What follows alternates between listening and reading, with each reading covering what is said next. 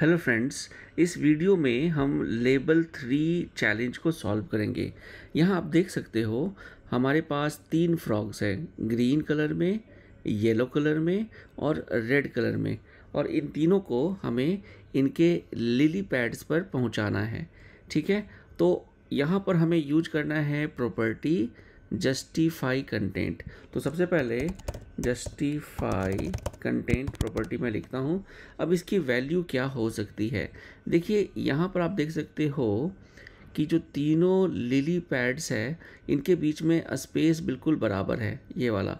तो हमारे पास जो प्रॉपर्टी की वैल्यू होती है, एक होता है स्पेस अराउंड तो स्पेस अराउंड वैल्यू यूज़ करते ही ये तीनों जो फ्रॉग्स है अपने अपने लिली पैड्स पर पहुँच गए हैं। तो हमें यहाँ क्या यूज़ करना था? अ space around value for justify content तो देखिए, इस स्पेस अराउंड को यूज़ करके हमने इन फ्रॉग्स को इनके डेस्टिनेशन पर पहुँचा दिया है। तो आई होप आपको ये वीडियो क्लियर होगी।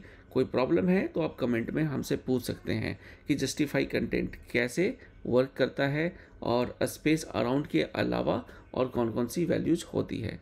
चलिए मिलता हूँ नेक्स्ट लेवल में।